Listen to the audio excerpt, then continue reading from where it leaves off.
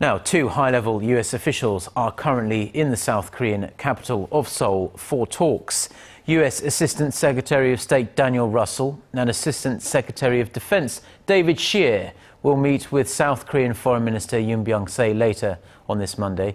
Now, the big conversation starter is, of course, expected to be the trip on Saturday by those North Korean officials to the south. The two Koreas agreed to resume high level working talks within the next several weeks.